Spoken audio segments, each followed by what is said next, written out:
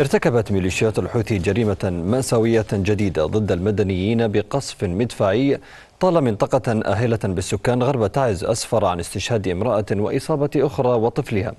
وقال أهالي منطقة حمر التابعة لعزلة المجاعشة بمديرية مقبنة إن ميليشيات الحوثي استهدفت المنطقة ومنازل المواطنين بقذائف الهون كما تسبب القصف الحوثي بنفوق عدد من المواشي والأبقار مسببا أضرارا كبيرة بممتلكات المواطنين.